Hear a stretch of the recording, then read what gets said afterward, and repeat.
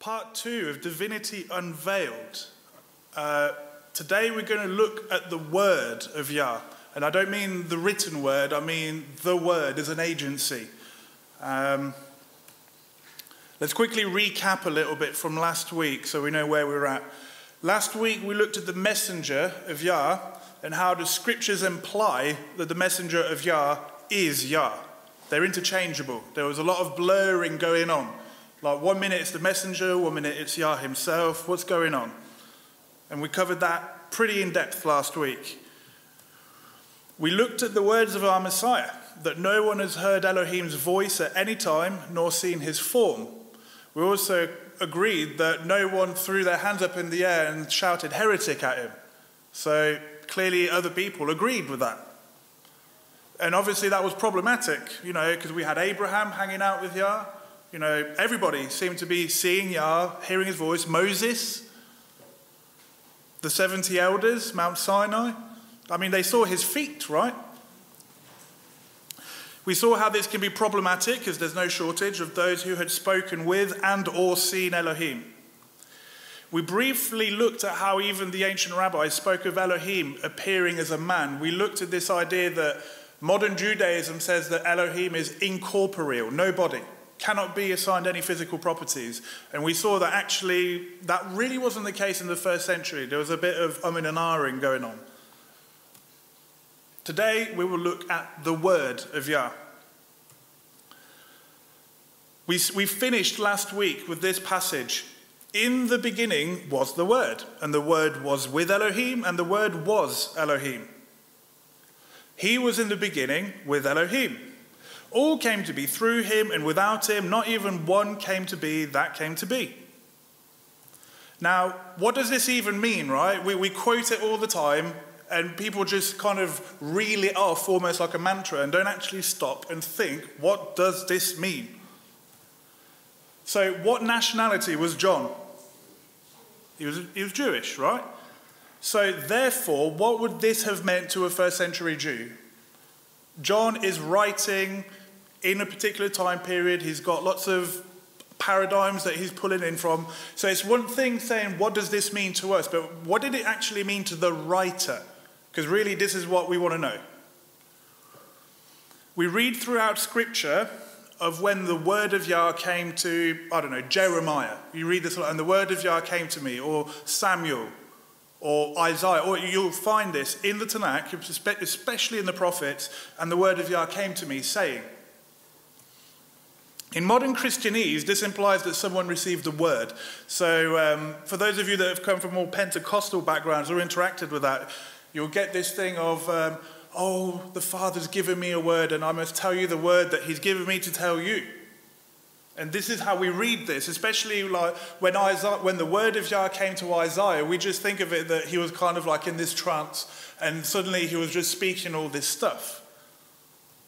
However, this was not actually the understanding of the Hebrews, as we're going to cover today. Let's put things back into context. Let's see how these people would have understood these phrases.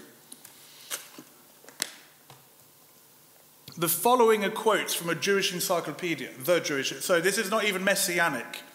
Um, the word, in the sense of the creative or directive word or speech of God, manifesting his power in the world of matter or mind.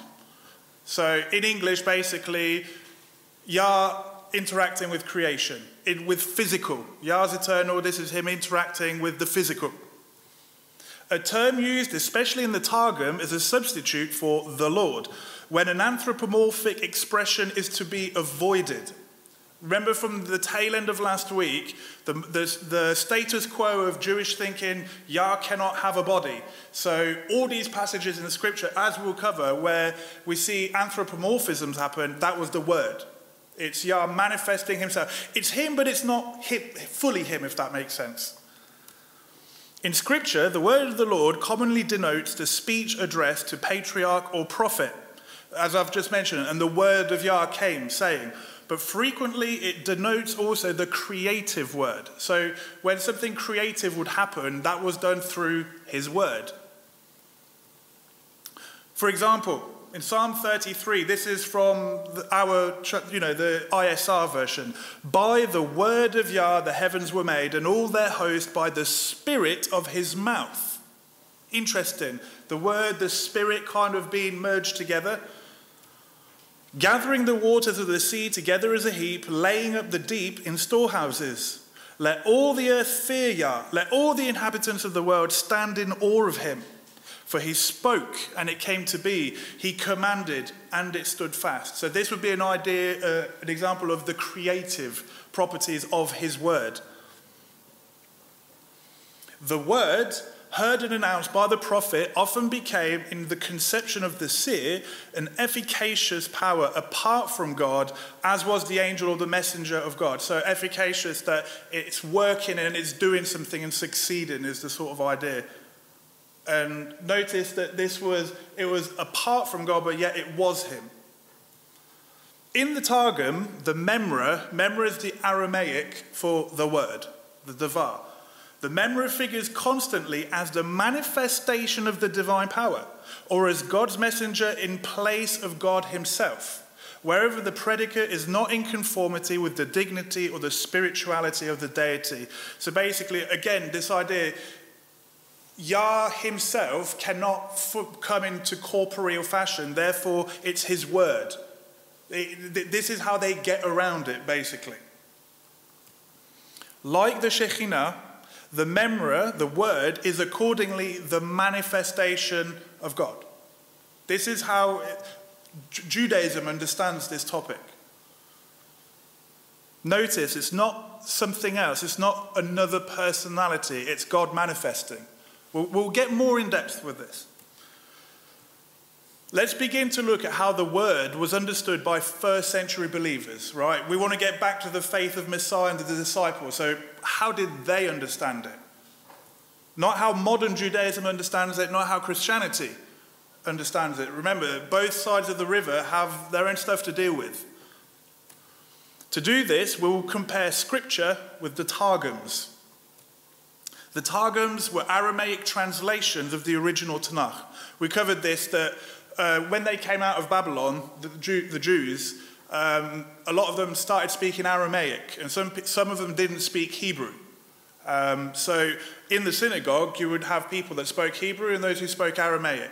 So for everyone to understand, the Hebrew scriptures would be read out, and then another person would translate into Aramaic. These often added little embellishments that help us understand how those translating the Tanakh understood certain verses. You'll find that in the various Targums, um, that they insert not so much their bias, but their understanding of it. That they add their interpretation to certain verses, which is interesting. These were read aloud in the synagogues, which means they were sanctioned and licensed by the religious authority. So it wasn't, you, you couldn't just pick any old Tom, Dick, and Harry off the street and say, Can you translate for me? There were people specifically trained for this. There, were, there would have arguably been rabbis that spoke both languages, and they would have been sanctioned by the religious authority. This means that the first century believers would have been very well acquainted with the Targums and their contents. Very well acquainted. Just so people understand as well, uh, Aramaic and Hebrew use the same script, and they're, they're very, very similar. Very similar. The Targums we will be looking at today are the Targum of Jonathan ben Uziel and the Jerusalem Targum. Now, let, us have a little thing about Jonathan, see who he was.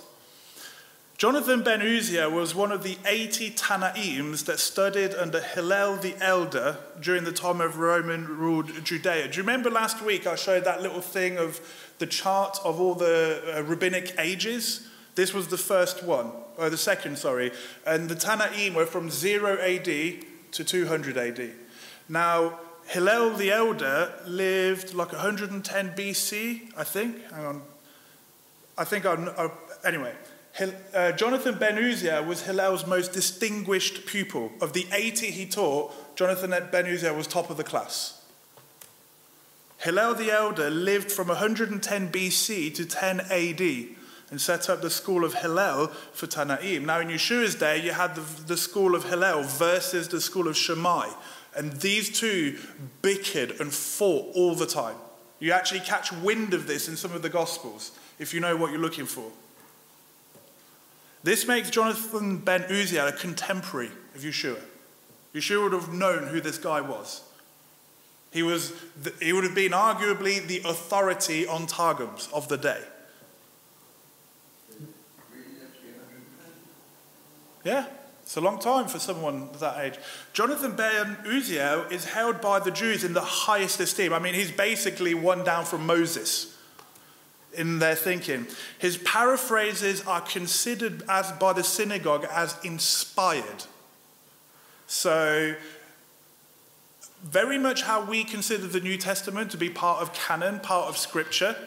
You know, we, we agree that Yeshua's disciples had the Spirit upon them, therefore, what they say must be inspired by the Spirit, right?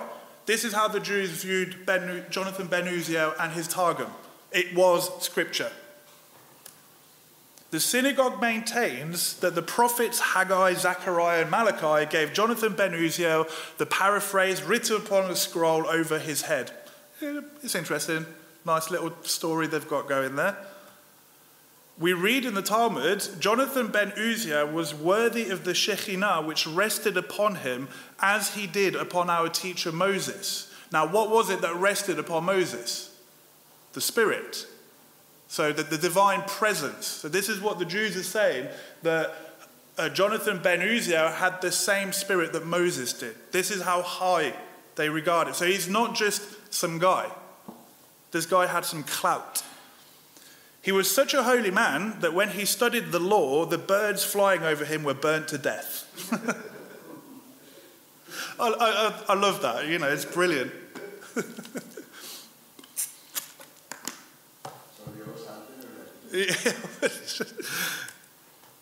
so let, us this is just a foundation. So let's look, we're going to be doing a lot of comparison now. We're going to compare Tanakh and we're going to compare it to Targum. We're going to do a lot of that. And Elohim created the man in his image. In the image of Elohim, he created him. Male and female, he created them. The Targum says, and the word of the Lord created man in his likeness. In his likeness, in the likeness of the presence of the Lord. Notice the interplay. So the word of the Lord is considered the presence of the Lord. Not the presence of another person, it's his presence. Now, why? Again, because they use the word as a way to avoid Elohim, the ultimate divinity, to be anthropomorphized. He cannot, he just cannot have a body. That's basically where this comes from. He created him, the male and his yoke fellow, he created them. Now, in Isaiah 63 9, we covered this last week. In all their distress, he was distressed, and the messenger of his presence saved them. So the word is considered the presence, as was the angel of Yah. Let's look at Genesis 2. And Yah Elohim planted a garden in Eden to the east, and there he put the man whom he had formed. The Targum says this And a garden from the Eden of the just was planted by the word of the Lord God before the creation of the world, and he made there to dwell the man when he had created him. The word created man. Again, like one thing is that remember how uh, uh, Hebrew thought that they were like very strict monotheistic, right? There's only Yah, nothing else. The word was an agency so that they could basically anthropomorphize him without bringing deity down. This, was, this is the logic. Genesis 3. And they heard the sound of Yah Elohim. Now, the voice there is, the word there is kol, which means voice, actually. It says they heard the voice of Yah Elohim. The King James bring this out, brings this out actually. Walking about in the garden in the cool of the day, and Adam and his wife hid themselves from the presence of Yah Elohim. Notice that the voice of Yah is his presence from among the trees in the garden. And Yah Elohim called unto Adam and said to him, Where are you? This is how, oh, and he said, I heard your voice in the garden, and I was afraid because I was naked, and so I hid myself. This is the way the Targum puts it. And they heard the voice of the word of the Lord walking in the garden. Again, Yah himself cannot be walking because that means he's got feet and legs. So they say the word of the Lord. And Adam and his wife hid themselves from before the Lord God. Please notice that the word of the Lord God is the same as the Lord God. And the word of the Lord God called unto Adam and said to him, Behold, the world which I have created is manifest before me. And how thinkest thou that the place in the midst whereof thou art is not revealed before me? Where is the commandment which I taught thee? See, you can see how they're starting to interpret a verse. And he said, The voice of thy word heard I in the garden. And I was afraid because I am naked, and the commandments which thou didst teach me I have transgressed. Therefore I hid myself from shame.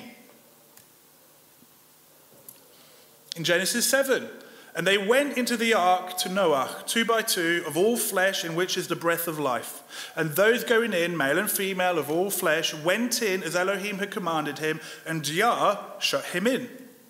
In the Targum, it says, And they entered the, to, to, Noah in the ark, into the ark, two of two of all flesh, in which was the breath of life. And they coming entered, male and female, of all flesh unto him, as the Lord had instructed him. And the word of the Lord covered the door of the ark upon the face thereof. And the word of the Lord God was merciful upon him. Remember, this is what's being preached from the synagogue in the first century as scripture. And Elohim said, This, chapter 9, this is the sign of the covenant which I make between me and you and every living creature that is with you for all generations to come. I shall set my rainbow in the cloud, and it shall be for the sign of the covenant between me and the earth.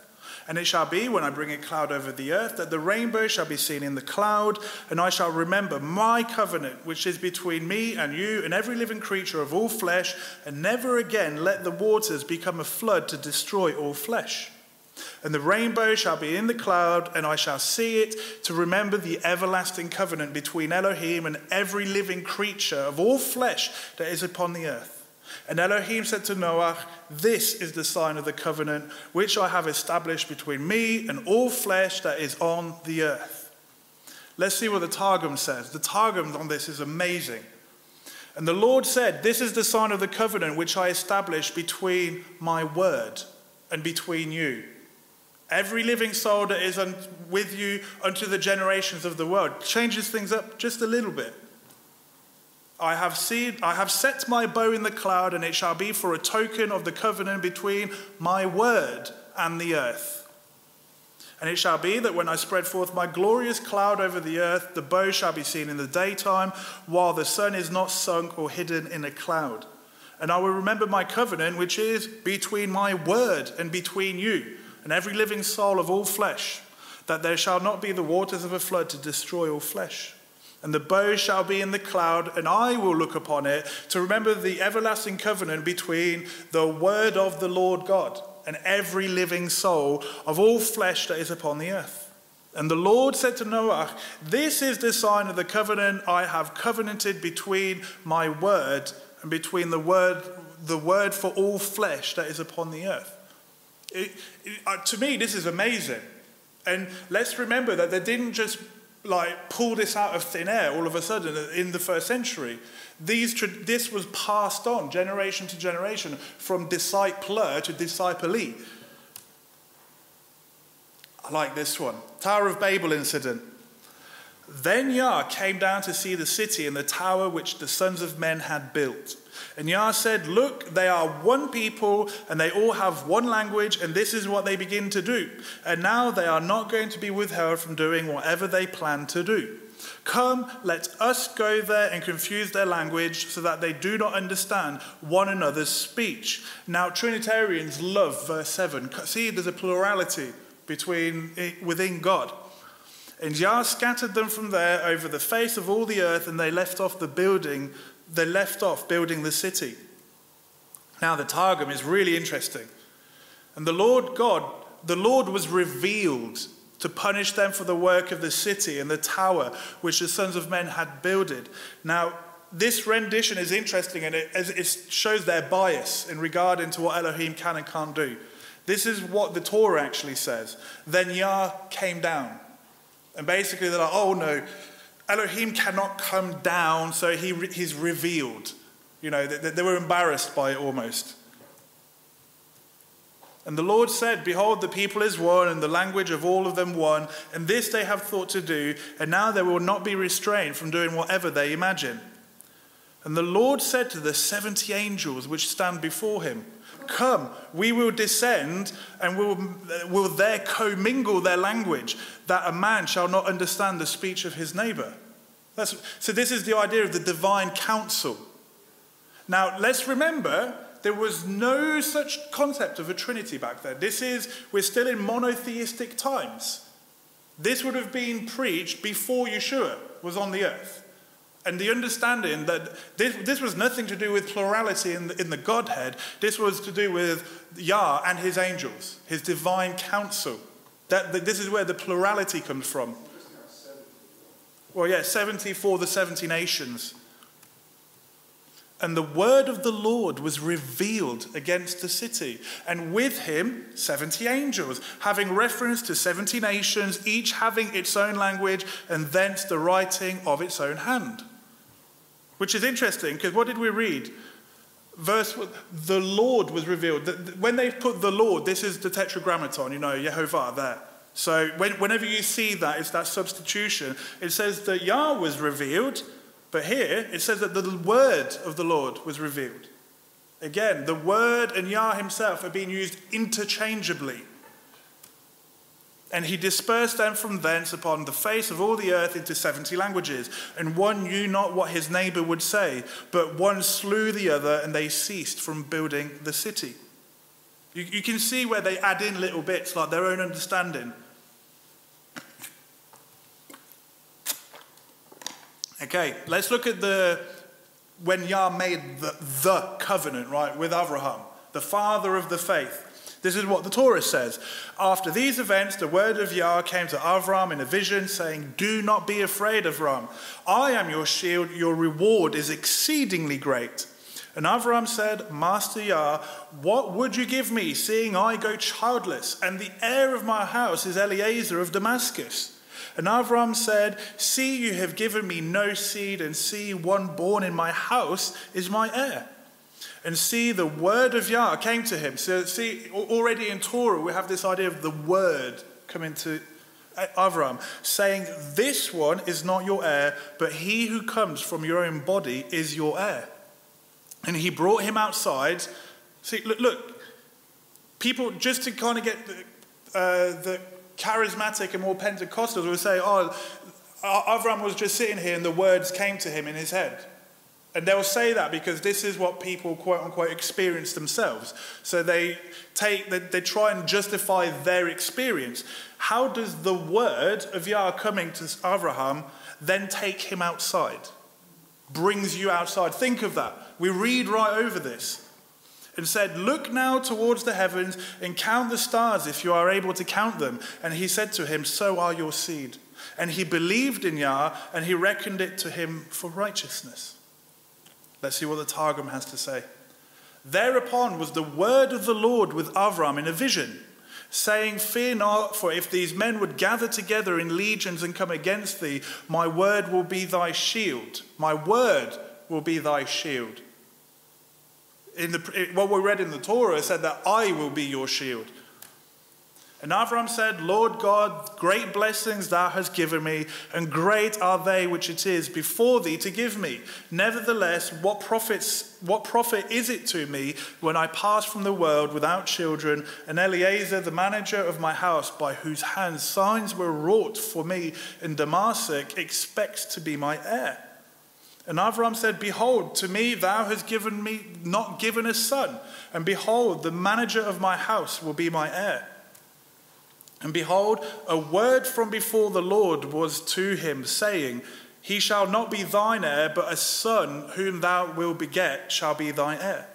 And he brought him forth without, and said, Look up now to the heavens and number the stars, if thou art able to number them. And he said, So will be thy sons. And he believed in the Lord and had faith in the word of the Lord. And he reckoned it to him for righteousness because he parleyed not with him before with words. He didn't argue, he just accepted it. So the first century understanding was that it was the word of Yah that made the covenant with Abraham. Which, uh, let's keep going. By the way, I've only picked out like the key events. Like, if you read the Targums, it's everywhere. I mean, I had to very, be very selective of which text to use. We covered this last week, but I want to bring it up again. The messenger of Yah said to her, See, you are conceiving and bearing a son, and you shall call his name Yishmael before, because Yah has heard your affliction.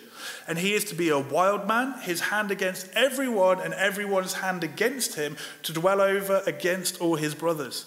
And she called the name of Yah who spoke to her, You are the El who sees. For she said, Even here have I seen him, seen after him who sees me. Now, the Targum translates verse 13 very interestingly. And she gave thanks before the Lord whose word spake to her. Now, we've just read it was the messenger of Yah speaking with Hagar, and the Targum is saying actually it was the word. And thus said, Thou art he who livest and art eternal, who seest but are not seen. That but are not seen is them adding in their little thing. For she said, For behold, here is revealed the glory of the Shekhinah of the Lord after a vision. So the word, the angel, the Shekhinah, all interchangeable, according to first century and before. The messenger of Yah is equated to the word as well as the Shekhinah, the visible presence of Elohim. That's the key there, the visible presence of Elohim. Genesis 17. And it came to be when Abraham was 99 years old that Yah appeared to Abraham and said to him, I am El Shaddai. Walk before me and be perfect. I, and I give my covenant between me and you and shall greatly increase you. And Avram fell on his face, and Elohim spoke with him, saying, As for me, look, my covenant is with you, and you shall become the father of many nations. And no longer is your name called Avram, but your name shall be Avraham, because I shall make you a father of many nations. And I shall make you bear fruit exceedingly, and make nations of you, and sovereigns shall come forth from you. And I shall establish my covenant between me and you, and your seed after you, in their generations, for an everlasting covenant, to be Elohim to you and your seed after you. This is my covenant which you are to guard between me and you, and your seed after you. Every male among you is to be circumcised. And you shall circumcise the flesh of your foreskin, and it shall become a sign of the covenant between me and you. Let's look at the Targum. Avram was the son of 99 years, and the Lord appeared to Avram and said to him, I am El Shaddai, serve before me and be perfect in thy flesh. And I will set my covenant between my word and thee, and will multiply thee very greatly. And the Lord spake with him, and saying, Behold, I have confirmed my covenant with thee, and thou shalt be the father of many peoples, and thy name shall no longer be called Avram, but Abraham shall be thy name, because to be the father of great multitude of peoples have I appointed thee. And I have established my covenant between my word and thee, and thy sons after thee in their generations, for an everlasting covenant to be a God to thee and to thy sons forever. So, it, it, it, whose covenant is it? Is it the covenant of the word? Uh, and now he's saying that I will be a God to thee and your seed. This is my covenant that you shall observe between my word and you and your sons after you, every male of you being circumcised, though he have not a father to circumcise him.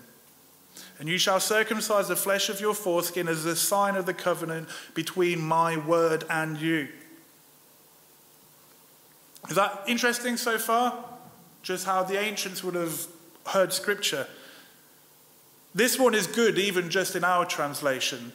And Yah rained sulfur and fire on Sodom and Gomorrah from Yah out of the heavens.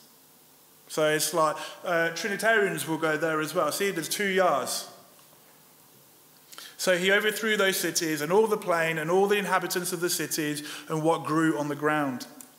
Now, the Targum is interesting. It says, The word of the Lord himself made to descend upon the people of Sodom and Gomorrah showers of favor, that they might work repentance from their wicked works. But when they saw the showers of favor, they said, So our wicked works are not manifest before him. So, in their understanding, the people were trying to spite Yah to his face.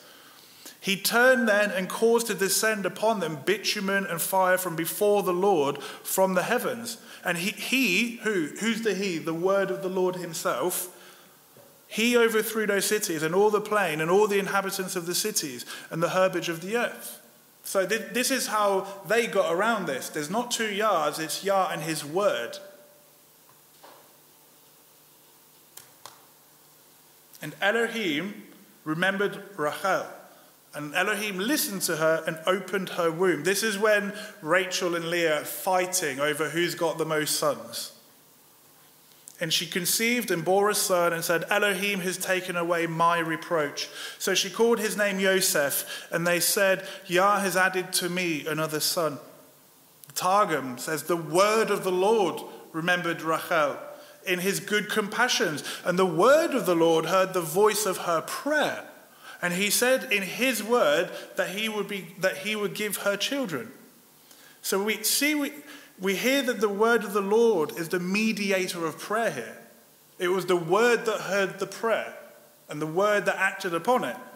This should remind us of our high priest, right? Who's our mediator. Okay, you get the idea. I'm going to stop comparing so much and we're going to go straight to the Targums. And Deborah, the nurse of Rivkah, died and was buried below Bethel under an oak. And he called the name of it the Oak of Weeping. And now what happens is that they add in like this whole diatribe. Like it's almost like a little miniature sermonette that they've added into the Targum. The God of eternity, whose name be blessed forever and ever, hath taught us precepts which are beautiful and statutes that are comely he has taught us the blessing of matrimony from Adam and his bride, as the scripture expoundeth. And the word of the Lord blessed them. And the word of the Lord said to them, Be strong and multiply, and fill the earth and subdue it. Now, if you read the Torah version of this, it says, And Elohim blessed them. And Elohim said to them, Bear fruits and increase, and fill the earth and subdue it. Interesting. He hath taught us to visit the afflicted from our father Abraham, the righteous, when he revealed himself in the plain of vision and gave him the precept of circumcision and made him to sit in the door of his tent in the heat of the day. Remember, this is, we've just covered what the Targum said about this. As the scripture expoundeth and said, the word of the Lord revealed to himself in, in the plain of vision. And again, he hath taught us to bless those who mourn from our father Jacob the righteous, the righteous, for he revealed himself to him on his coming from Padan of Aram, and the way of the world had happened to Deborah, the nurse of Rivkah, his mother, and Rachel died by him in the way. And Jacob our father sat weeping and bewailing her, and mourning and crying.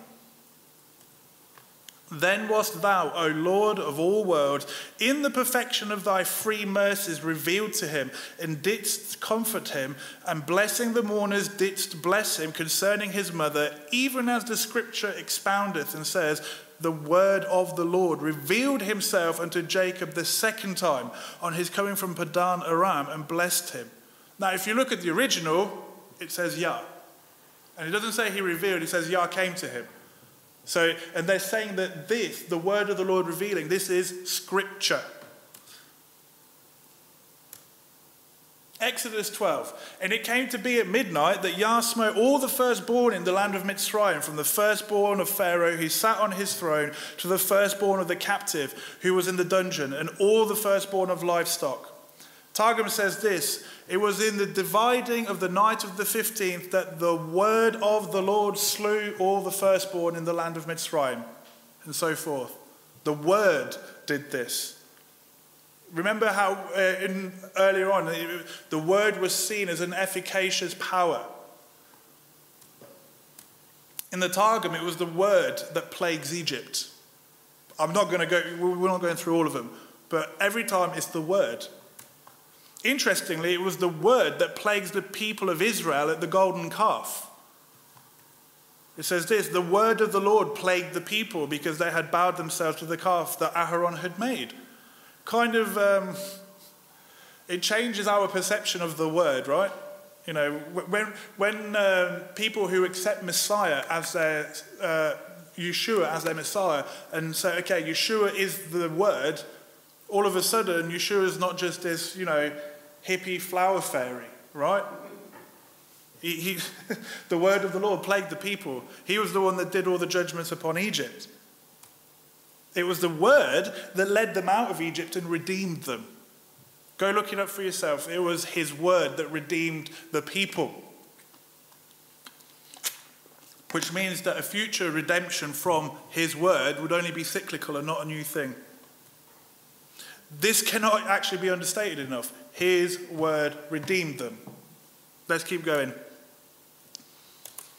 You have seen what vengeance, this is when Yah gives the, the covenant uh, to Israel. What vengeance I have taken of the Mizrahi, how I bear you upon the light clouds as upon eagle's wings, and brought you nigh to the doctrine of my law. And now, if you will truly hearken the voice of my word. You know, one thing I realize is that people are very quick to say, well, his word is speaking about his written word, but too many times the word is personified, as in like an actual thing. The voice of my word, so the written word now speaks, huh, the living word, huh? and will keep my covenant. So the voice of my word and will keep my covenant. You shall be unto my name a distinct people and beloved as a precious treasure above all peoples. For all the earth is to the name of the Lord. And to my name you shall be kings and priests and a holy people. That's interesting because it says, You shall be priests and kings unto me in the Torah. But here it says, Unto my name. And the word of the Lord said to Moshe, Behold, my word will be revealed to thee in the thickness of the cloud. Now we know, we know that it says Yah descends upon Mount Sinai. It's the word. I'm going to reveal my word to thee in the thickness of the cloud, that the people may hear while I speak with thee, and may also believe forever in the words of the prophecy of thee, my servant Moshe. And the Lord said to Moshe on the fourth day, Go unto the people and prepare them today and tomorrow. Let them wash their raiment and be prepared on the third day. For on the third day, the Lord will reveal himself. This is literally the next verse. So he says, My word will be revealed. Now he says that the Lord will reveal himself to the eyes of all the people upon Mount Sinai. And it was on the third day, the sixth of the month, in the time of the morning, that the mountain there were voices and thunders and lightnings and mighty clouds of smoke, and a voice of a trumpet exceeding loud, and all the people in the camp trembled. And Moshe brought forth the people from the camp to meet the glorious presence of the Lord. And suddenly the Lord of all the world, all the world uprooted the mountain, lifted it in the air, and it became luminous as a beacon, and they stood beneath the mountain. So they're embellishing it a bit. But we've just read that, that he will reveal himself, his word to them, then he will reveal himself, and now they're meeting the glorious presence of the Lord. It's just, it's all interchangeable. The Targum Jonathan, that, like, remember there's two Targums, Jerusalem and Jonathan. All the Mount of Sinai was in flame, for the heavens had overspread it, and he was revealed over it in a flaming fire, and smoke went up as the smoke of a furnace, and all the mountain quaked greatly. Now, the Targum Jerusalem says all the Mount Sinai went up in smoke because the glory of the Shekhinah of the Lord was revealed upon it in a flame of fire. So, in, in the first centuries and the centuries leading up to it, Shekhinah, word, presence, angel, all synonymous, used interchangeably. Again, we see that the word of Elohim and his Shekhinah are one and the same. The problem is that Kabbalah has done a wonderful job of uh, completely changing what the Shekhinah is. This also is equated to his presence. Again, in all their distress, he was distressed, and the messenger of his presence saved them. they're not pulling these concepts out of thin air. They're obviously seeing scripture and connecting dots together. And the word of the Lord spake all these excellency of these words. The Ten Commandments was given by the word. Son of Israel, my people, I am the Lord your God. Hang on a minute. The word of the Lord is saying this. Now it's, I am the Lord your God, who brought you out of the land, from the land of Mizraim, from the house of bondage and slaves. Again, this passage cannot be understated enough. The word is Yah. Yeah. Exodus 25. This is Yah speaking to Moses.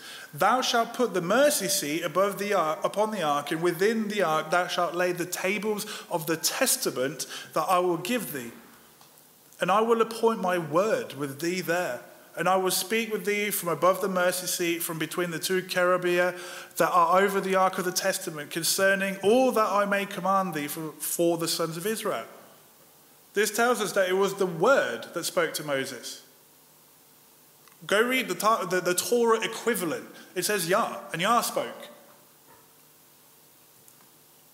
And the Lord spake with Moshe, saying, Also speak thou with the sons of Israel, saying, Ye shall keep the day of my Sabbaths indeed, for it is a sign between my word and you, that you may know that I am the Lord who sanctify you. So now the, the, the Moedim are a covenant between the people and the word of Yah. I love it. Ye shall keep the Sabbath, because it is holy to you. Whosoever profaneth it shall die. Dying he shall die. Whoso doeth work therein, that man shall be destroyed from his people. The sons of Israel shall therefore keep the Sabbath to perform the delightful exercises of the Sabbath. It is for your generations an everlasting statute between my word and the sons of Israel. It is a sign forever. Look, I love that. To perform the delightful exercises of the Sabbath. They're, they're, they're drawing upon Isaiah uh, 56 or 58. Whoever, who, the foreigner that comes in and says the Sabbath is a delight. This is amazing. Then he said, Show now unto me thy glory. But he said, Behold, I will make all the measure of my goodness pass before thee, and I will give utterance in the good name of the word of the Lord before thee. And I will get, have compassion upon whom I see it right to have compassion, and will be merciful to whom I see it right to have mercy. Pardon? Exactly if you read it, it says, I shall, in the Torah, it says, I shall proclaim my name unto thee. And the Lord said, Behold, a place is prepared before me, and thou shalt stand upon the rock. And it shall be that when the glory of my Shekhinah passes before thee, I will put thee in the cavern of the rock, and will overshadow thee with my word until the time that I have passed by. I mean, this is amazing. Please don't tell me that when it says the word, it's talking about written words on a piece of paper. My word will overshadow thee. This should hearken us back to Noah, that it was the word that sealed the ark. To me, I love this. I was like, you know, when you, you have that moment and you're just shaking with excitement? That's what that was me reading this. Again, let's remember this from the Jewish perspective. The word, in the sense of the creator of a directive word or speech of God, manifesting his power in the world of matter and mind. This is Yah appearing in our thing, our existence. A term used especially in the Targums as a substitute for the Lord when anthropomorphic expression is to be avoided. The memra figures constantly as the manifestation of divine power. This is not something separate, it's Yah manifesting himself. Like the Shekhinah, the Memra is accordingly the manifestation of God. Not a second person, not a third person. Let's stop here. I know it's a lot to take in. What I did, I wanted to show you the key moments in Scripture the giving of the covenant, uh, making of the covenant with Abraham, creation, who did Moses speak with? The giving of the Torah on Mount Sinai. Who was it that Moses saw? I'm trying to give you this from the first century perspective. In part two, we're going to look a bit at Isaiah and then we're going to tie it to, uh, I'm going to make a statement. I hope that's been a blessing so far.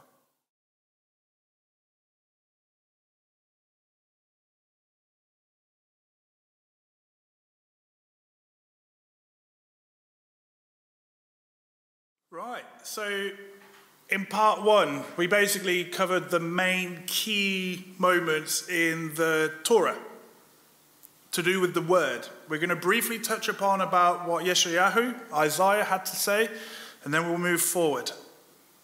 So the word so far, the instance of the word that I have shown here, about literally a small fraction of what is in the rest of the Targums. In your own time, read the Targum. I really struggled to keep this down for the time. It would seem that every time Elohim interacted with his creation, he did so through his word, or we, as we covered last week, the messenger. His word is equated to the messenger of Yah, to the Shekhinah, and to his presence, all interchangeable in the first century mindset.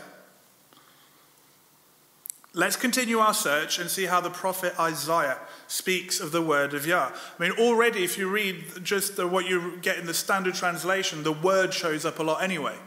But let's see what the Targums had to say. Your new moons and your appointed feasts, my word hates. They are an abomination before me. I have often forgiven you. If you read it, it says, My being hates your new moons and your, and your appointed times. When your priests are spreading out their hands to pray for you, I shall make to ascend the presence of my Shekinah from you. He shall take his presence away. And when you are multiplying prayer, it is not my pleasure to accept your prayer at your hands, they being full of the blood of the innocent. Interesting. Return to the law, make you clean, make you clean from your sins. Put away the evil of your doings from before the presence of my word cease to do evil. There's very interesting terminology. And they use this because man cannot be in the presence of Yah and live. So you're in the presence of his word. Again, don't tell me the word is just this written thing. It's, yeah. Isaiah 5. Woe unto them that are, that are mighty to drink wine and mighty lords of riches, to make themselves drunk with old wine who justify the guilty in order to receive from him the mammon of falsehood, the, the pleasures, the money, the, the gain, and wickedly take away the righteousness of the righteous from him. Therefore they shall be devoured as stubble in the fire and like dry hay in the flame. They are multiplying their strength, it shall be an ulcer, and the money of their oppression as the dust that flieth away, because they have despised the law of the Lord of hosts and rejected the word the Holy One of Israel. This is huge. The word is equated to the Holy One of Israel. That title is reserved to divinity alone.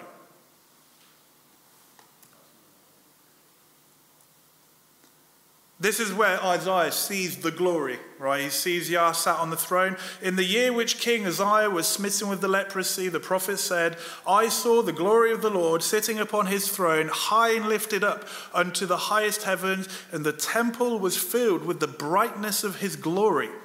And I heard the voice of the word of the Lord, which said, Whom shall I send to prophesy, and who will go teach? Then I said, I, here I am, send me. I just find that interesting. He sees Yah himself, and then it's the word that spoke. And there shall be the Lord, the light of Israel, and his Holy One, his word. That's really interesting phraseology. His Holy One, his word. This has got the messianic implication now. Strong as fire, and his word as a flame, and it shall slay and make an end of his rulers and of his governors in one day. And it shall consume the glory of the multitude of his army. This is speaking of, I think, of one of the nations that was around Israel. Um, and their souls with their bodies, and he shall be broken and be a fugitive. And the rest of his warriors shall come to an end, that the people shall be a small number, and they shall be reckoned a weak kingdom. And it shall come to pass that in time that the remnant of Israel, and such are the escaped of the house of Yaakov, shall no more again lean on the people whom they served, but they shall lean upon the word of the Lord, the Holy One of Israel, in truth. Again, the word of Yah is equated to the Holy One of Israel. This is huge, huge, huge, huge. Remember that the people speaking this were strictly monotheistic. You know, they, these people were reciting the Shema three times a day. Isaiah 12. See, El is my. So this is our version.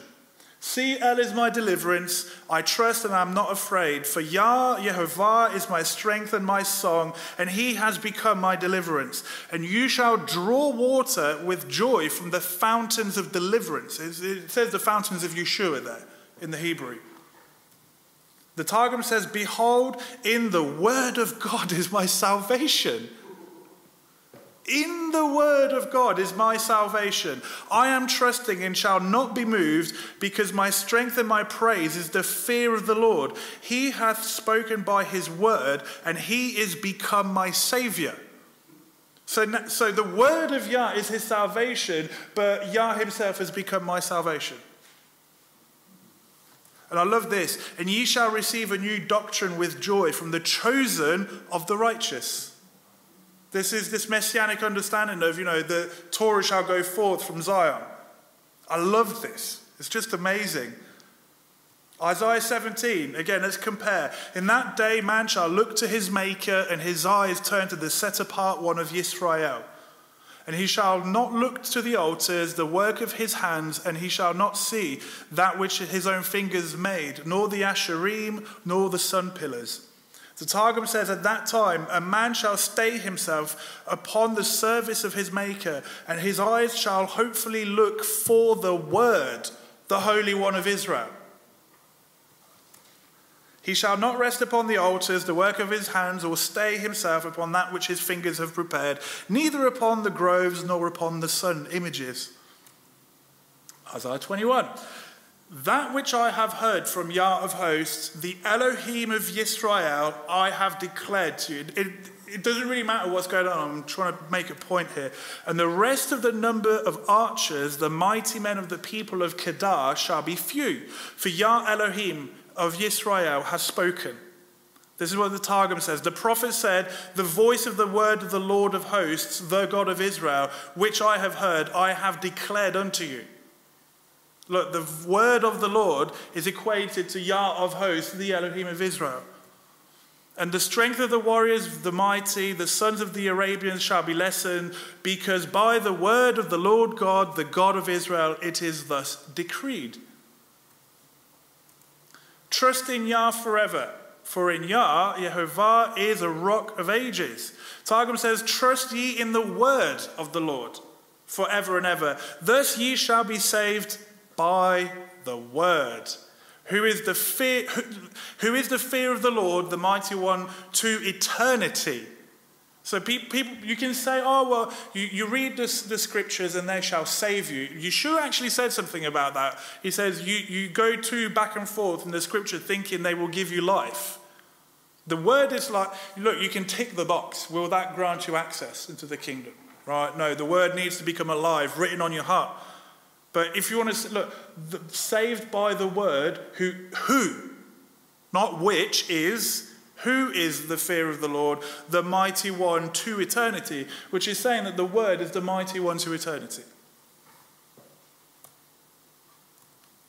See my servant whom I uphold. This is our version. My chosen one, my being has delighted in. I have put my spirit upon him. He brings forth right ruling to the nations.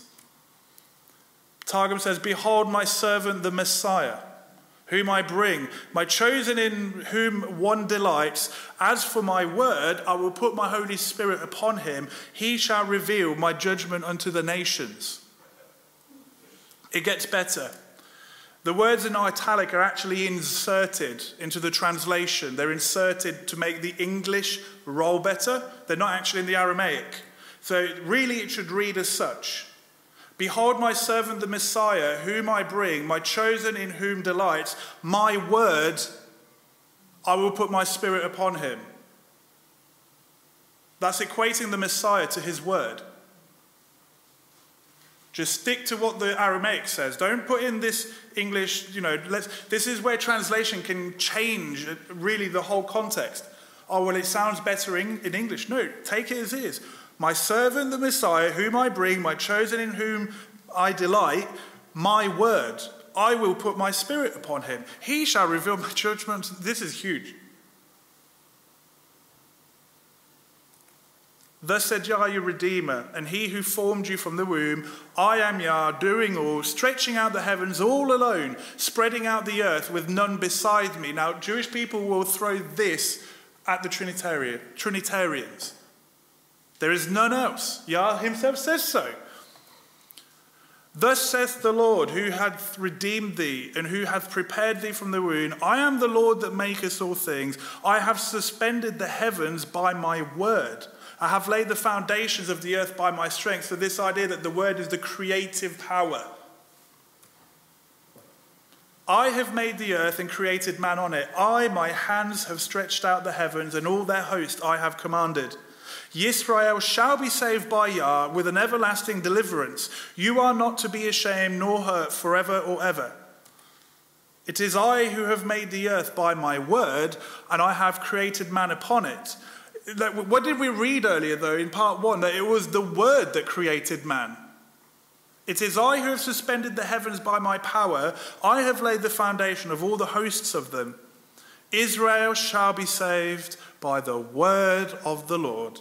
With an everlasting salvation, ye shall be not ashamed nor confounded forever, yea, for ages after ages. Please remember, this is what's being spoken in the synagogue, even before Yeshua is walking on earth. And this was, they said, this is divine inspiration. Jonathan Ben Uziel was the modern Moses, as it were. Turn to me and be saved, all you ends of the earth, for I am El, and there is none else. I have sworn by myself, a word has gone out of my mouth in righteousness and shall not return, so that to me every knee shall bow, every tongue swear. The Targum says, Turn unto my word and be ye saved. All that are at the ends of the earth, for I am the Lord, there is none else. I have sworn by my word. Look, swearing by his word is swearing by himself. The word is gone forth in righteousness from my presence and shall not fail, that before me every knee shall bow, every tongue shall swear. One shall say, Only in Yah do I have righteousness and strength. He comes to him, and all those displeased with him shall be put to shame. In Yah, all the seed of Israel shall be declared right and boast. Targum says, Surely he has promised to bring me righteousness and strength by the word of the Lord. In his word they shall offer praise, and all the nations that are incensed against his people shall be ashamed. In the word of the Lord, all the seed of Israel shall be justified and glorified. You get, you get the point I'm trying to make, right? I, I'm laboring this for a reason. I'm laboring it. I know I am. Again, these are it's literally like a small fraction.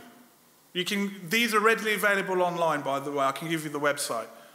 Read it for yourself. I, I've struggled to keep it down because there's so much amazing stuff.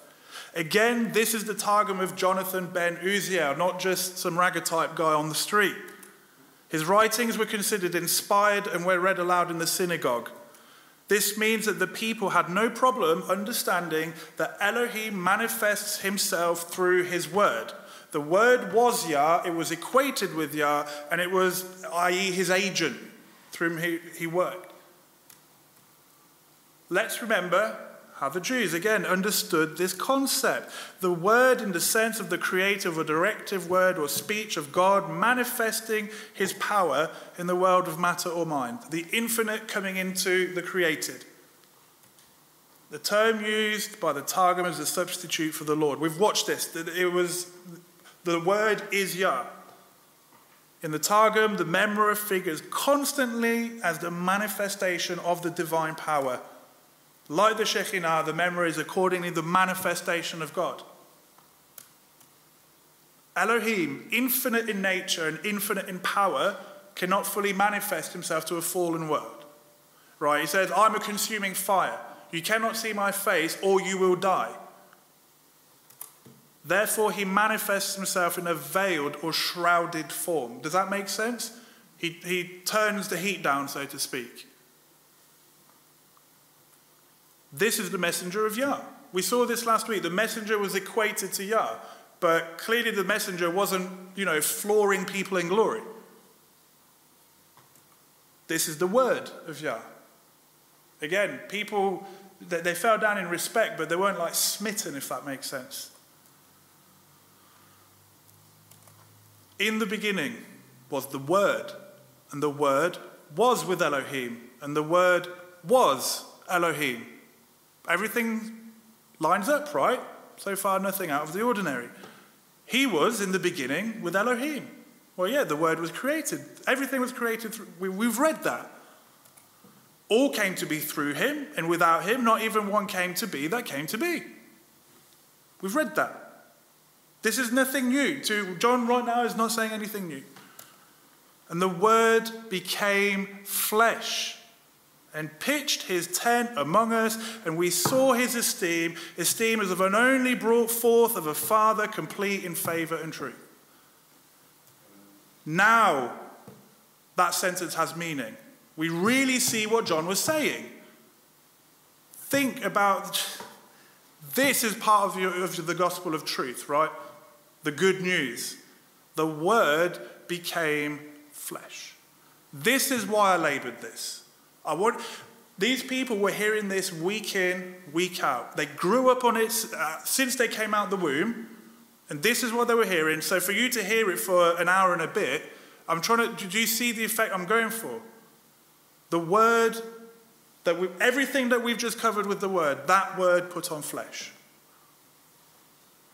Now it's all the more powerful. It's not just this whimsical thing I've made up in my mind. There's an understanding behind this. John didn't say this out in a void, he didn't pluck it out of thin air. This is what Genesis says. In the beginning, Elohim created the heavens and the earth. The Targum says this In wisdom, the Lord created. In wisdom. Where is the Targumist getting this idea from? Because obviously, remember, this is inspired, right? This is scripture, according to the first century.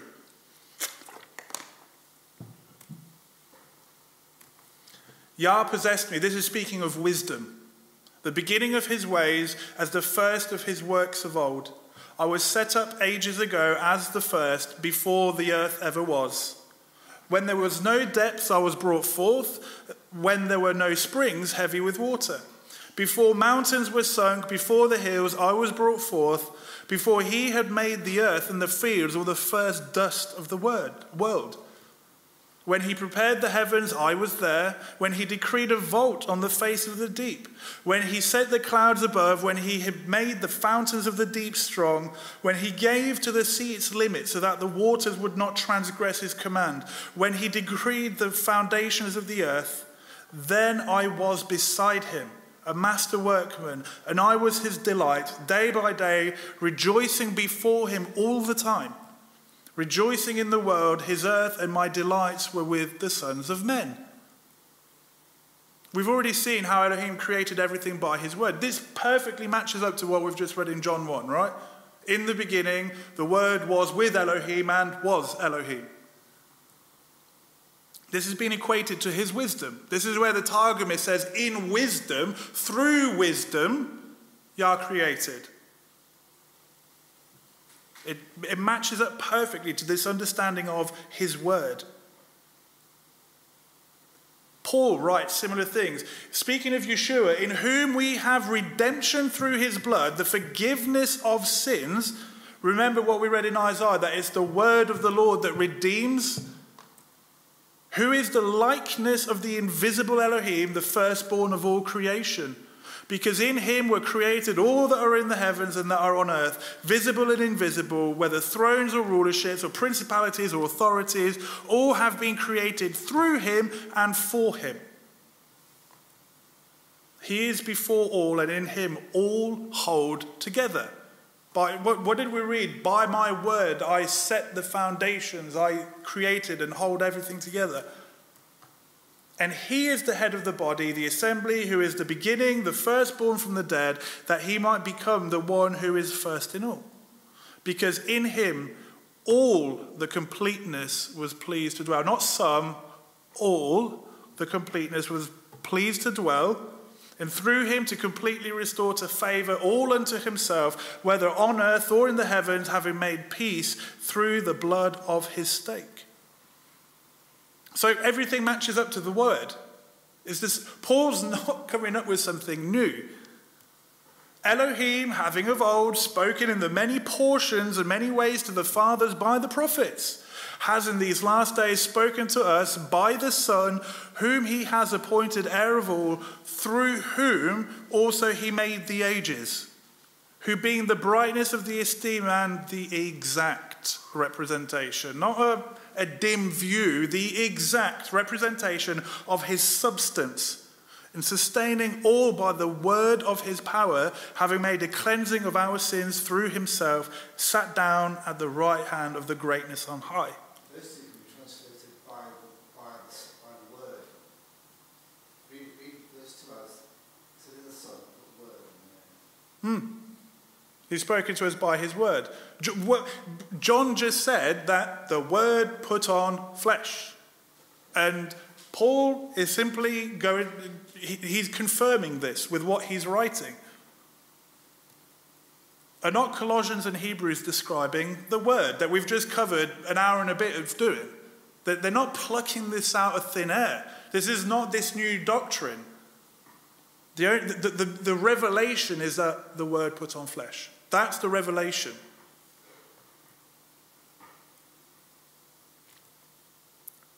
Okay, I'm gonna. Yeah, this is this is where I hit a, a sacred cow or two. I, I'm gonna tick someone off. Was the word, and by implication, Yeshua, created? Well, I've already got mixed opinion here, but difference between being created and brought forth. Um, by the way, this is one of the this question right here. Uh, created a massive schism in the early church. It was already infected by then, but it split because of that question. If you say the word is created, it can no longer. Let's cover this. You, you, I'm liking what I'm hearing. If that's the case, if the word and Yeshua by implication is created, I'm going to ask this Does Yeshua receive worship? Yes. yes. Should he receive worship? Yes. yes. Okay. Should a created being receive worship? That's what, why myself being created should I worship another created being? The angels are created, and we're told not to bow down in front of them. Okay. Again, let's remember, I, going to, I'm rehashing this for a reason. Remember how the word was understood by the Hebrews. The word, in the sense of the creative or directive word or speech of God manifesting in his power in the world of matter or mind, substitute for the Lord, purely to avoid anthropomorphic expressions. That's why they came up with the word. In the Targum, the Memra, the word figures as the manifestation of the divine power. Again, like the Shekhinah, the Memra is accordingly the manifestation of God. This is how John understood it. We've just covered, this is why I really labored it, so that I'm not just kind of making this up. I want you guys to see it.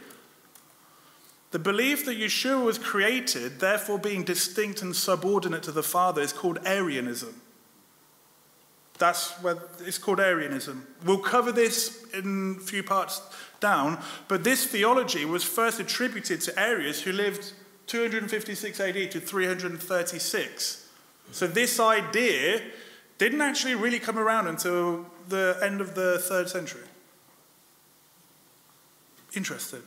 We'll cover this in much greater detail further in the series. One of the parts will be to do with how the doctrines evolved, things like Trinity, dualism, monarchianism, modalism. We'll cover that. Okay, is the word Yah? Yes. Does Yah have a beginning?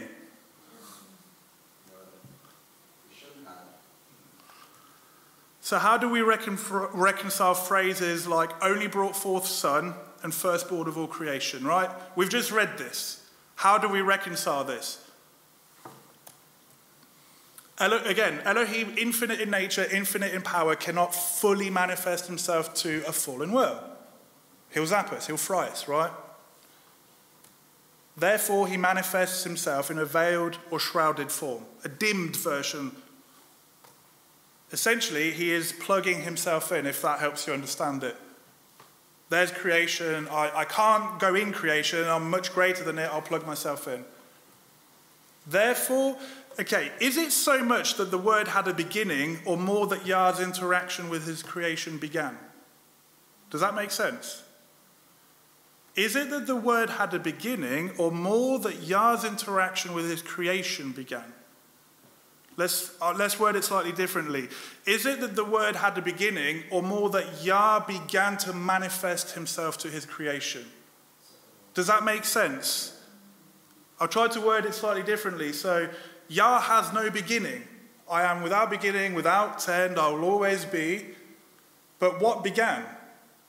That, that him manifest, so he creates us and then he manifests himself to us. That has a beginning.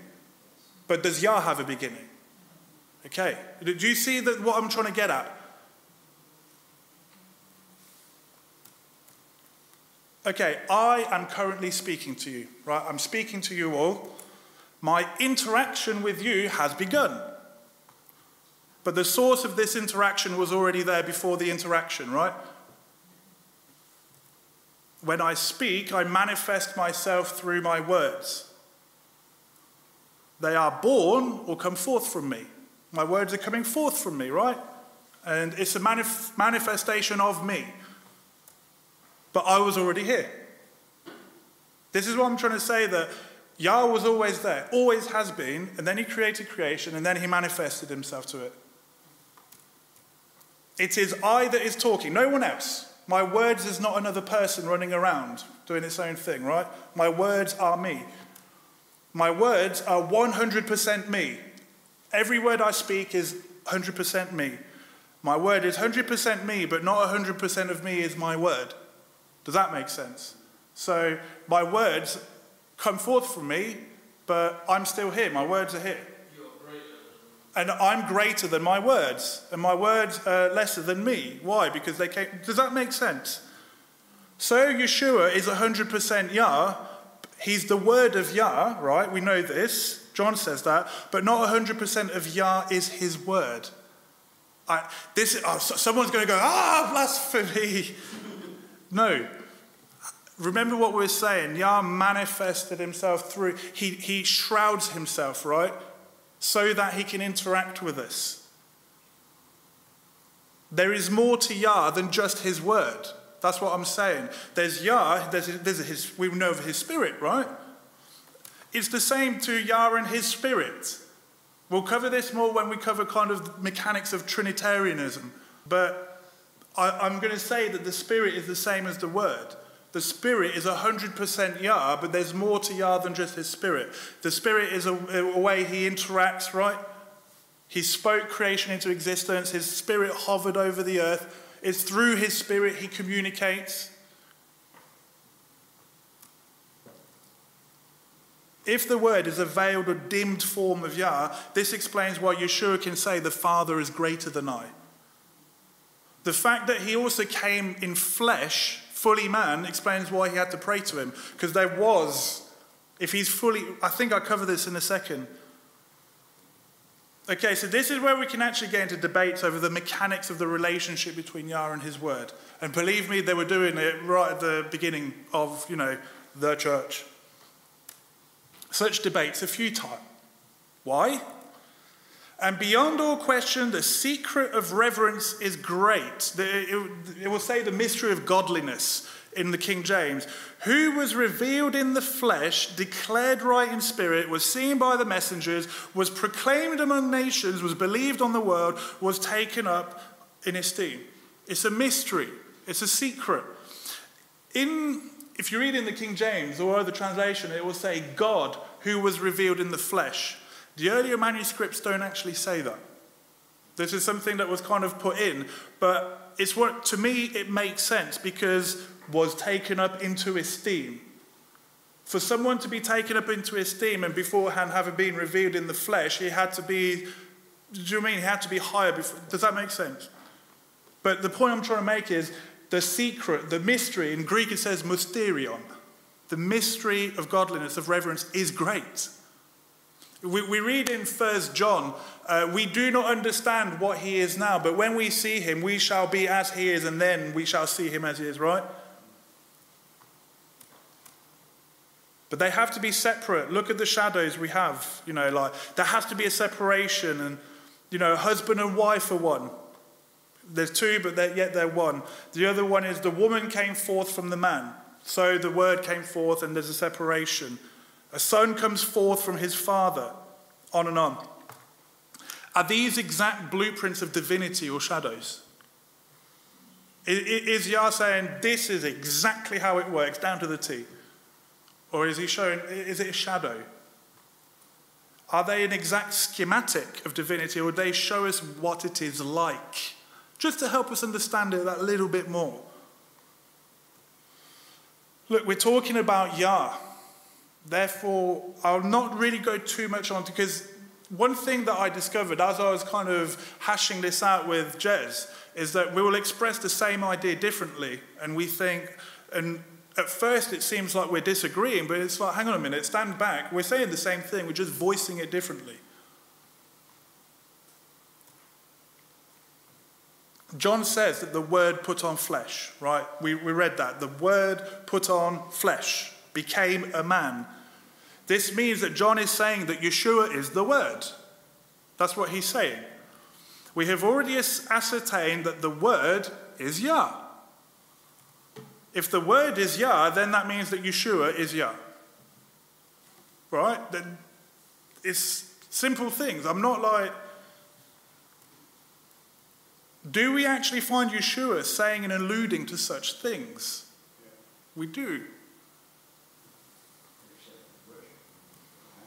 I am the bread of life. I am the light of the world. All I am, by the way, I am the door. I am the good shepherd. By the way, trace the good shepherd back to Ezekiel. All the stuff to do with the shepherd, that was Yah. Read it. It says Yah is going to be the shepherd. And Yeshua is saying, I'm the good shepherd. I am the resurrection and the life. That, that was a bold statement. I am the way, the truth, and the life. I am the true vine. Seven statements. Funny that, eh? All beginning with I am. Yeah.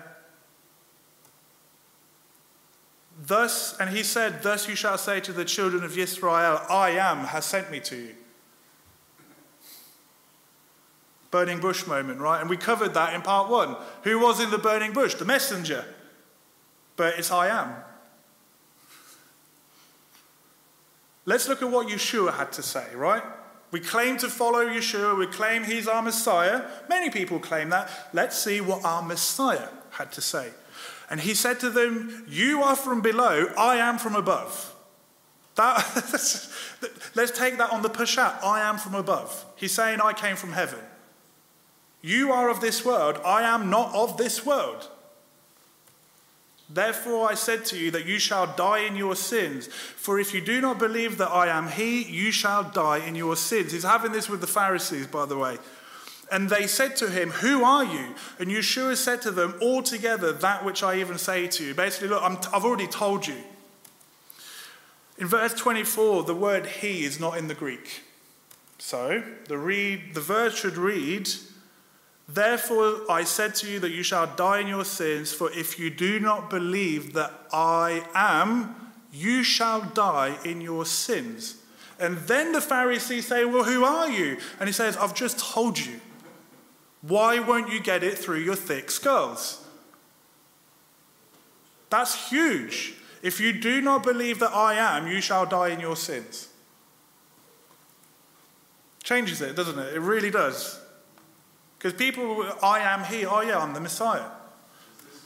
According to Yeshua, this is a salvation issue. I hate saying that it's a salvation issue. I didn't say it. I didn't say it. Yeshua said it. Do you still want to follow Messiah? By the way, I've said this, but I'm going to say it here. Now we start getting to the point where you're either going to make someone's faith in Yeshua stronger or you're going to demolish it. You'll see what I mean as this unfolds. First of all, Yeshua said that if you do not believe that I am, you will die in your sins. That's Let's keep going. Same, this is the same diatribe, by the way. So Yeshua said to them, When you lift up the Son of Adam, then you shall know that I am He. Again, the He's inserted. You shall know that I am. When you lift, this, think about that. When you see the Son of Adam lifted up, you shall know that I am. And that I do none, of all, none at all of myself, but as my Father taught me, these words I speak. As he was speaking these words, many believed in him. Many. Many. You know, people like to pick on the Jews, oh, they killed Messiah. You know, actually, a lot believed in him. Hmm? My father taught me these words. Hmm. So Yeshua said to those Yehudim who believed him, If you stay in my word, you truly are my taught ones, and you shall know the truth, and the truth shall make you free. They answered him, We are the seed of Abraham, and we have been, we have been servants to no one at any time, whilst they're under the bond of, bondage of Roman oppression. How do you say you shall become free? I know that you are the seed of Abraham, but you seek to kill me because my word has no place in you. I speak what I have seen with my father, and you do what you have heard from your father. They answered him and said, Abraham is our father. Yeshua said to them, If you were Abraham's children, you would do the works of Abraham. But now you seek to kill me, a man who has spoken to you the truth, which I heard from Elohim. Abraham did not do this.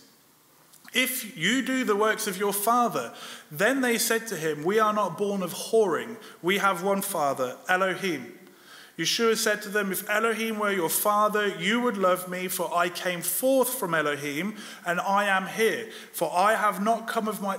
I came forth from Elohim. He's saying, I'm, he's coming forth from him. I have not come of myself, but he sent me. Why do you not know what I say? He's, he's saying it quite straightforward. Because you are unable to hear my words. You don't want to hear my words. You've hardened your heart. You are of your father, the devil. The desires of your father you wish to do. He was a murderer from the beginning and has not stood in the truth because there is no truth in him. When he speaks the lie, he speaks of his own, for he is a liar and the father of it. The Yehudim answered and said to him, Do we not say, Well, you are a Shomeronite and have a demon? You're a, Samar- a Samaritan. Yeshua answered, I do not have a demon, but I value my Father, and you do not value me. Truly, truly, I say to you, if anyone guards my word, he shall never see death at all. Again, another big, bold statement. The Yehudim said to him, Now we know you have a demon. Abraham died and the prophets. You say, If anyone guards my word, he shall never taste death at all. You can understand why they're having this. Uh, what's the word? Um, when Cognitive dissonance, thank you. Are you greater than our father Abraham who died and the prophets died? Whom do you make yourself? Yeshua answered, If I esteem myself, my esteem is none at all. It is my Father who esteems me, of whom you say that he is your Elohim. Your father Abraham was glad to see my, that he should see my day, and he saw it and did rejoice. And the Yehudim therefore said to him, Are you not 50 years old, and have you seen Abraham? Yeshua said to them, Truly, truly, I say to you, before Abraham came to be, I am. Please notice what he's done. You've got this thing, it happens, you bookend stuff. So he made the point right at the beginning if you do not believe that I am, you will die in your sins. And now he says on the other side, truly, truly, before Abraham was, I am. And the whole bit in the middle, basically, the bookends is the point you're trying to make, and everything in the middle explains that. And the whole bit in the middle is that you think you're of the seed of Abraham, and he says you're not. You're actually of, de- of the devil. All of this is bookended by who is Yah. Therefore, they picked up stones to throw at him, but Yeshua was hidden from, and went out from the set apart place, going through the midst of them, and so passed by. The Pharisees knew full well what he was saying, hence why they wanted to stone him. He just said, I am. That that's like blasphemy in their eyes. They knew fully well what he was saying. Again, do you follow Yeshua? Is he your Messiah? John 5 The man went away and told the Yehudim that it was Yeshua who made him well. And because of this, the Yehudim persecuted Yeshua and were seeking to kill him because he was doing these healings on the Sabbath. But Yeshua answered them and said, My Father works until now, and I work. Because of this, then, the Yehudim were seeking all the more to kill him, because not only was he breaking the Sabbath, but he also called Elohim his own father, making himself equal to Elohim. The Pharisees knew what he was saying. Have you ever wondered why they didn't stone him sooner or kill him sooner? They didn't have the right. Because they were under Roman rule, the Roman emperor took the right for them to do um, uh, corporal punishment. That was saved for the Romans alone. They weren't allowed to condemn people to death. So when they stoned Stephen, they were actually going against Roman rule. This is why when the Pharisees got Yeshua, they didn't kill him themselves. They got Rome to do it. They weren't allowed. Anyway, little aside. John 10. So the Yehudim surrounded him and said to him, How long do you keep us in suspense? If you are the Messiah, say to us plainly. Yeshua answered them, I have told you, and you do not believe. So, first he's claiming that he is the Messiah. The works that I do in my Father's name, they bear witness according to me. But you do not believe, because you are not of my sheep, as I said to you. My sheep hear my voice, and I know them, and they follow me. He's quoting Ezekiel. Go read Ezekiel and all the shepherd verses. And I give, I give them everlasting life, and they shall by no means ever perish, and no one shall snatch them out of my hand. He's saying, I will give them everlasting life. My Father who has given them to me is greater than all, and no one is able to snatch them out of my Father's hand. I and my Father are one. Again, the Yehudim picked up stones to stone him. Yeshua answered them, Many good works I have shown you from my Father. Because of which of these works do you stone me? The Yehudim answered him, We do not stone you for a good work, but for blasphemy, because you, being a man, make yourself Elohim. That's the accusation. Again, the Pharisees know what he's saying. John 17, I have esteemed you on the earth, having accomplished the work you have given me that I should do. And now esteem me with yourself, Father, with the esteem which I have had with you before the world was. Please esteem me with the esteem which I had with you before the world was. Again, what did we read? The word was with Elohim and was Elohim. John 18, Yehudah then, having received the company of soldiers and officers from the chief priests and Pharisees.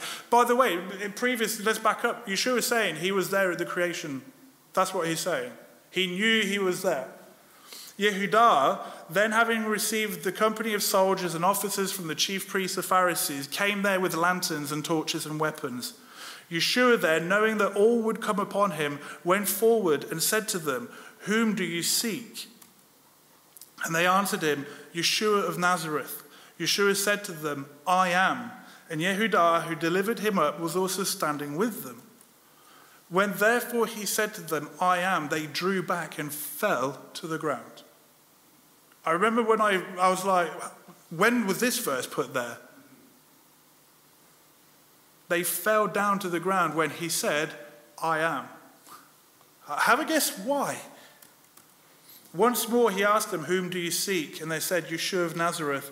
Yeshua answered, I said to you that I am. If then you seek me, allow these to go. Why would saying your name make people fall to the floor unless that was the name? Finally, But Yeshua remained silent. So the high priest said to him, I put you to oath by the living Elohim that you say to us, If you are the Messiah, the Son of Elohim. Yeshua said to him, You have said it. Besides, I say to you, from now on you shall see the Son of Adam sitting at the right hand of the power and coming on the clouds of heaven. Then the high priest tore his garments, saying, He has blasphemed. Why do we need any more witnesses? See, now you have heard his blasphemy. What do you think? And they answering said, He is liable to death. Now, which bit of verse 64 was it that made him coming on the clouds? It wasn't the fact that he was Messiah that they called blasphemy. The phrase coming on the clouds was reserved to deity alone. He's saying that you will see the Son of Adam coming on the clouds of heaven. The fact he's calling himself Son of Man. Go read the book of Daniel. I love how Mark puts this little account. It's, it's like an added little detail. But he remained silent, gave no answer. Again, the high priest asked him, saying, Are you the Messiah, the Son of the Blessed? And Yeshua said, I am. I like that, I am.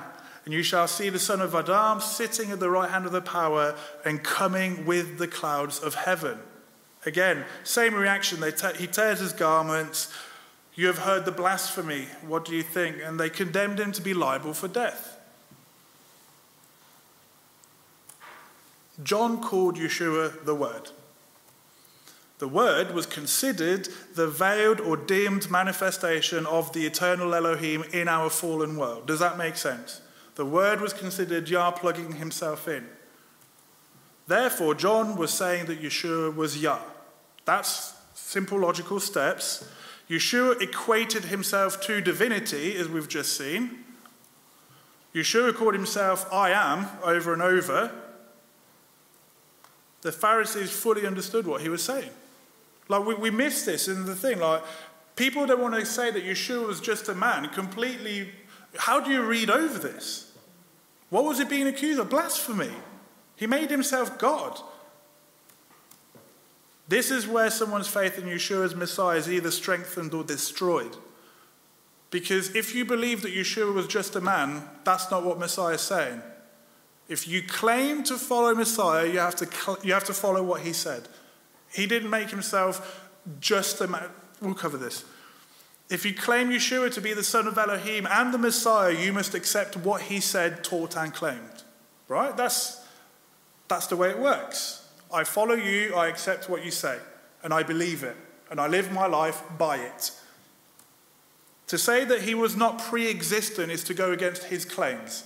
He said, Give me the esteem that I had before the world was. Right there, he's claiming to be pre existent, before creation. So you have to accept that if you claim Yeshua is your Messiah. You have to.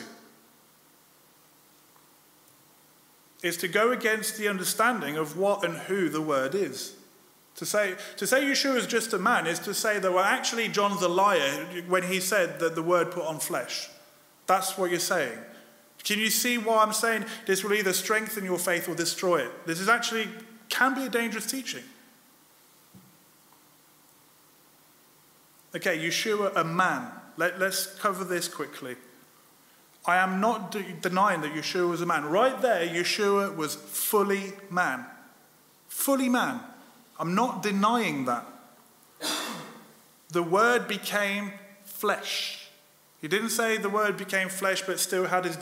He became a man and pitched his tent among us. I'm not denying that. This is part of the amazing revelation that Yah would actually do this. You know, Yah in all his glory, and basically he becomes a pitiful human being prone to illness, has to go to the toilet and become ill. Did you see what I mean? It's literally like the, the, the human being becoming the amoeba. That's the equivalent.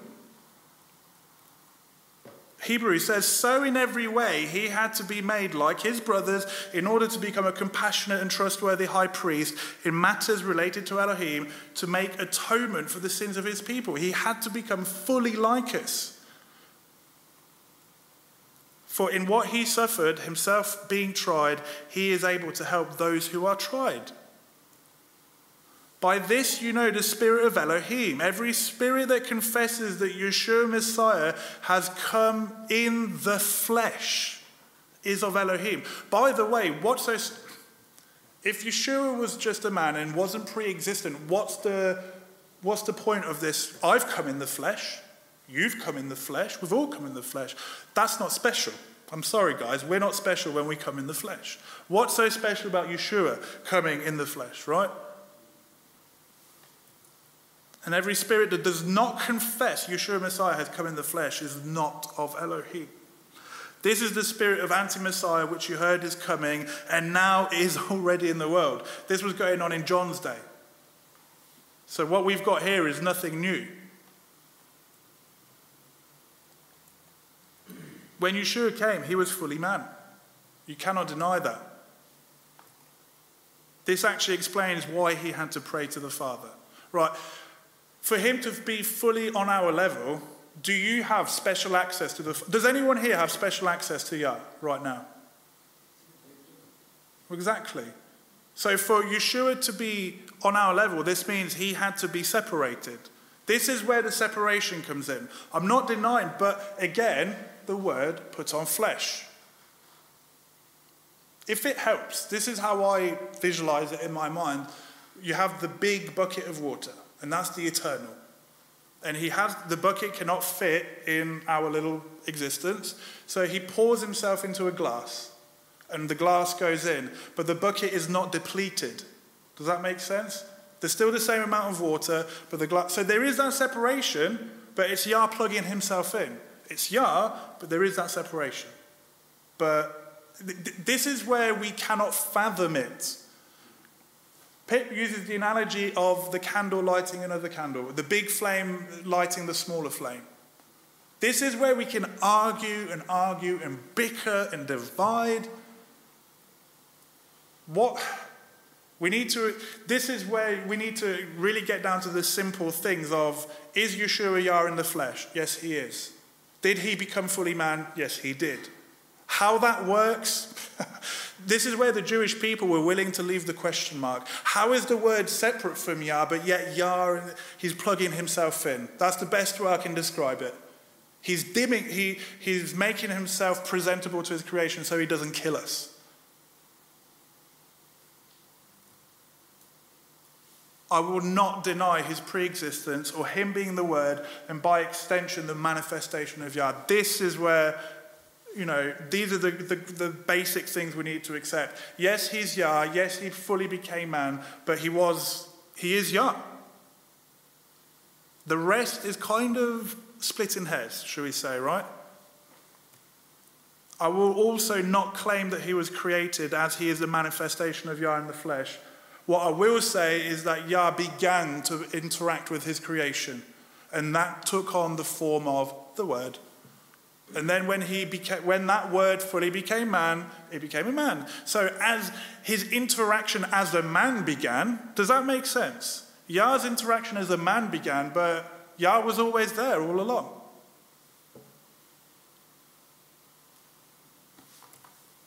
This is what he claimed, and this is what his disciples taught. That's what he claimed. To say otherwise is, is can you see why it will either make a faith or destroy it? We have to be, if you're intellectually honest with what Yeshua said and his disciples said, that's what it's saying. The belief that Yeshua was not pre existent and was simply just a man is called adoptionism. Adoptionism states that Yeshua was just a man and was adopted or became the son of Elohim at his baptism, resurrection, or ascension. So there's three variations. But basically, he was just some dude, happened to not sin at all, and when he, either when he was baptized, resurrected, or ascended, that's when he became the Son of God and adopted into Godhood. It was lucky he got all the way to his baptism. Yeah. 30 years, I mean, fancy that. This is, what, this is where this comes from. And this doctrine did not come about until the end of the second century. That's just how it is. This doctrine is widespread in Messianic slash Torah movement, widespread. We, we've encountered this very personally. The word was understood as a veiled, dimmed, or shrouded form of Elohim. It was how Yah, infinite in nature and power, manifested himself in a fallen and finite world. It's how he plugs himself in. It was how he could interact with his creation without destroying it. I like the analogy that Curtis gave to us of the man in the ant farm. You know, Yah is the man and we're the ants in the ant farm. And how does, I mean, have you tried picking up an ant? You, what happens? You usually end up killing it, right? So it is. Yah cannot interact with us directly. This is why, this is part of the amazing part of the gospel that we can actually become like the angels and like Him, that He may. This, when you start understanding this, I was just thinking, oh my goodness, the good news really is like, it's, it's been really shaking me to the core actually. It feels like I'm hearing it for the first time again. When you start meditating on this, that Yah, the infinite, came down to our level because he wanted to interact with you and bring you back unto him. The word is Yah. John stated that the word put on flesh and that it was Yeshua. By virtue of the word being Yah, this means that Yeshua is Yah. We saw that Yeshua made those claims. He didn't beat around the bush. We also saw that the Pharisees fully understood that he was making those claims. He, they, they got what he was saying. Do we believe Yeshua in his words? Again, I will ask you do you believe in your Messiah and what he claimed? Do we believe what the disciples believed? This is what one disciple had to say. After eight days, his taught ones were again inside, and Thomas with them. Yeshua came, the doors having been shut, and he stood in the midst and said, Peace to you. Then he said to Thomas, Bring your finger here and see my hands, and bring your hand and put it into my side, and do not be unbelieving, but believing. And Thomas answered and said to him, My master and my Elohim, my master and my God. Adonai ve Elohim Shali. He was that's what they believed. Next week, we're going to cover what the disciples actually believed and why did they believe it. Where were they drawing this from which means we're going to be looking at some of the uh, Tanakh prophecies. What did the disciples believe and why? Because this is apparently what we claim to believe. Amen?